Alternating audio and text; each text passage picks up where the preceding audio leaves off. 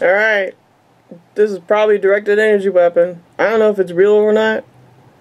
Live or Memorex, but if it's live, it's probably a directed energy weapon. Alright, that's item number one. Item number two.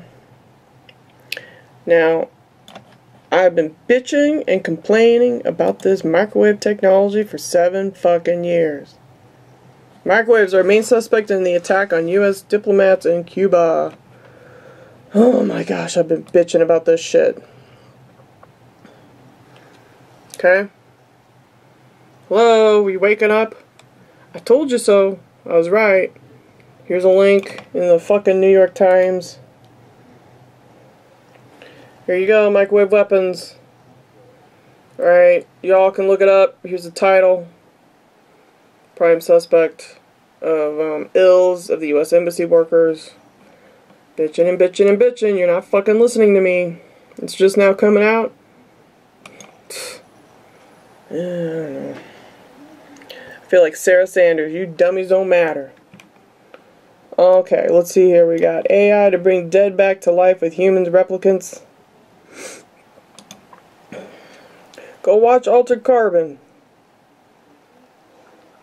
Altered Carbon the movie. It's on Netflix.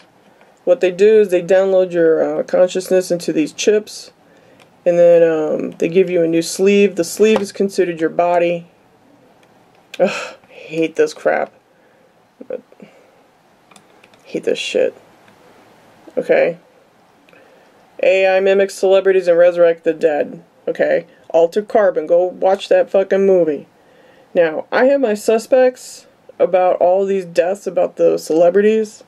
I think that they're part of the 144,000 that will go to the moon. I don't even know if some of these people are dead. That's that's the truth. That's how I feel about certain things. You know, I think that they are, um, you know, fake. They could probably fake a death. Sure. You don't know. You never see funerals. I mean, other than you know this and that. Seriously, with these shootings and all this shit, you don't see no funeral. You don't see no death certificate. You don't see no. You weren't. You are not there at the medical examiner's office. Okay, so you have to remember, Rev 1313 is designed for the 144,000 special elite. If you pay to play, you get to go to the moon. And then in the meantime, they get to throw nuclear weapons, energy beams on us. We get the fucking bullshit down here on the planet while they get to sit up on the fucking moon. And here's one of them. Okay? He's one of the elite. So don't let them fool you. Yeah, it's more dangerous than nuclear weapons. You know why?